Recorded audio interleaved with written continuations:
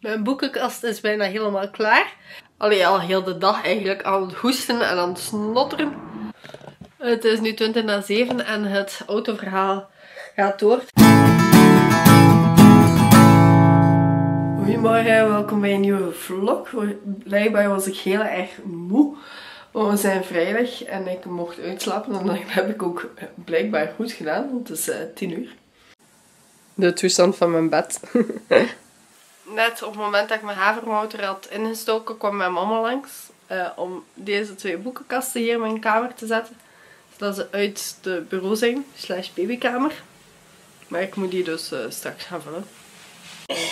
Al onze medewerkers zijn hier. Ik heb nog geen echte productieve dag gehad, maar we gaan daar proberen veranderingen te maken.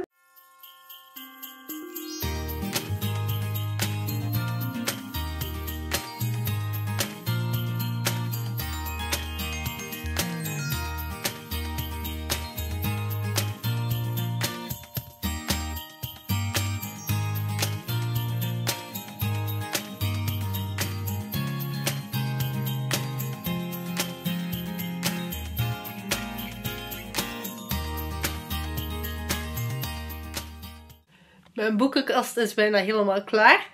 Uh, maar ik zit gefrustreerd met iets. Uh, de inschrijving van mijn auto lukt niet zo vlot als ik had gehoopt. Want uh, bij mijn verzekering zouden ze normaal de auto kunnen inschrijven. Maar er is iets waardoor dat ze hem niet kunnen inschrijven. Waardoor dat nu toch naar DIV moet. Waardoor het echt nog een stuk lang gaat duren. Want dan moet met een aangetekende brief op de post. Dus die brief moet vandaag of morgenochtend in de post raken, want anders wordt hij niet verstuurd, want het is kerstmaandag. en dan uh, krijg ik waarschijnlijk pas de vroegste dinsdag of nee, de vroegste woensdag denk ik bericht of zo. Nog even. Nu moet ik de rest van deze bureau leegruimen. Ben op zolder en hier staat er ook best wel veel die ik de afgelopen tijd voor jullie verborgen heb. Namelijk een aantal papierdozen met kleren. Dit leuke set groentjes die ik onlangs heb gekocht. Als het wat groter is. Om in het keukentje. Dit uh, verstoppertje spelen die ik ook onlangs heb gekocht in de kringloop. Hier staat er nog een hoop rief met dingetjes. Hier een driewielerfietsje en een cute leviheersbeestje waarop dat ze kunnen rondlopen. Ik ben echt al heel de middag, al heel de dag eigenlijk aan het hoesten en aan het snotteren.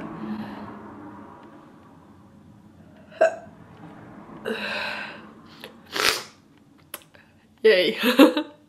uh, door mijn zwangerschap ben ik ook onlangs nog een keer ingeënt voor corona. Dus hoop dat het gewoon een uh, goede verkoudheid is. Het is nu 20 na 7 en het autoverhaal gaat door. Het gaat zeker nog een stuk langer duren, want de brief die ik moest sturen naar de VV komt dus ook met de post. Dus tegen dat die brief hier is, tegen dat ik hem dan weer kan versturen met de feestdagen, vrees ik dat ik uh, nog even zonder auto zit. En dat is echt zo irritant. Uh, maar nu ga ik mijn vlogs bewerken, zodat die online komen. Voor één heb ik nog 40 minuten de tijd. En voor de andere nog een stuk meer. Tijd voor een kerstfilm. Kan je raden welke ik kijk?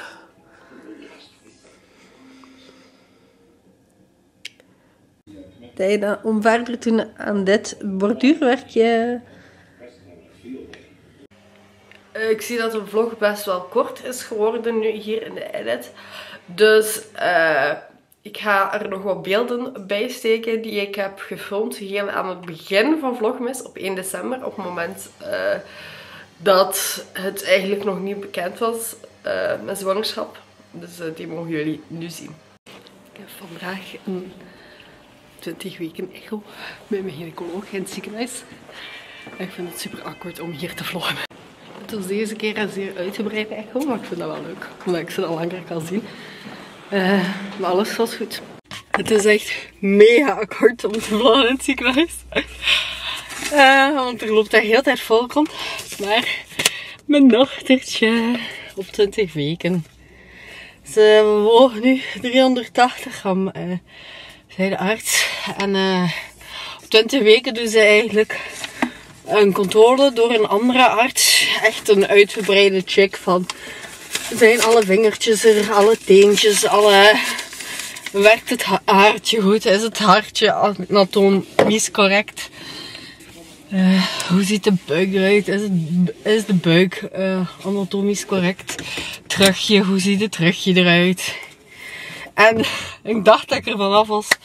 Maar op het einde komt er ook nog een vaginale echo. Uh, en dat doen ze om eigenlijk te checken hoe lang de baarmoederwand is. Want een korte baarmoeder zou blijkbaar een indicatie kunnen geven op mogelijke vroeggeboorte. Vandaag heb ik uh, de roze doos meegenomen uit het ziekenhuis. Ik had hem al eens meegenomen, maar de Franse versie. Dus dat was niet zo handig. En ik ga hem nu samen met jullie unboxen. Ik zie wel dat er niet zo heel veel dingetjes in zitten, maar vooral folders. Maar er zit wel een rond belletje zelf in. Dat zat ook in de Franse versie, dus ik heb die eigenlijk al. Uh,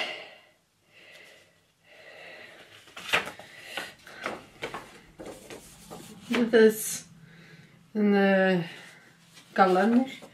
Maar wat dat je moet doen of wat dat je kan verwachten. Uh, tussen, ja, en, en elke maand vrij zwangerschap. Ik kan dan eerst kwalsrijden met de trein. Ik vraag me af of vanaf wanneer dat, dat is, want misschien kan ik dat al nu. Is een hele checklist. Reclame voor zalfjes en zo.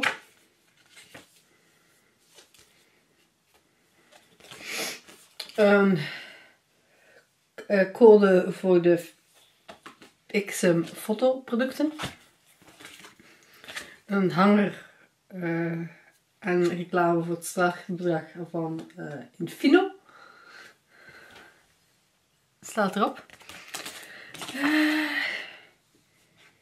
nog iets voor de andere geschenken. Allee, voor het geschenkenprogramma eigenlijk van de Rode Doos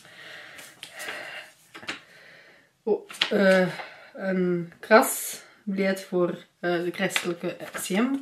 Ik heb die ook al gedaan in een andere box. Uh, een leuk kaartje eigenlijk van Huis van de Mens. Ik weet niet precies wat zij doen.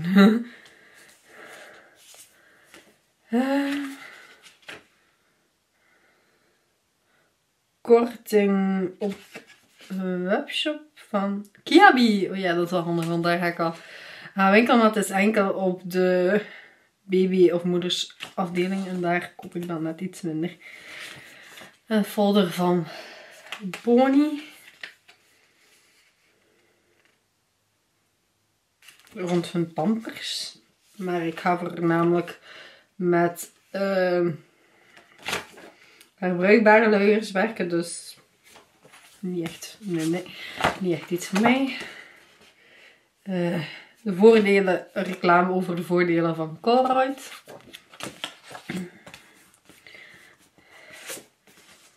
Uh,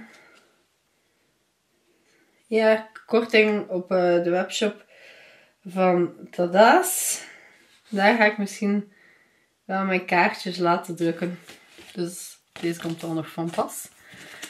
Uh, van Baby Dump een foldertje. Dat was trouwens ook wel echt een leuk cadeaupakket van Baby want die heb ik ook al. Uh, folder van Dream Baby. Heb ik ook al de goodie bag.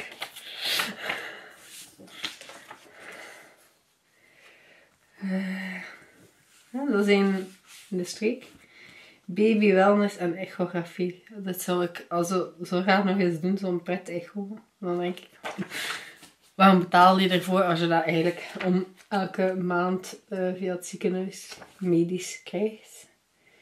Ehm, dit is een folder met alles van Baby Park.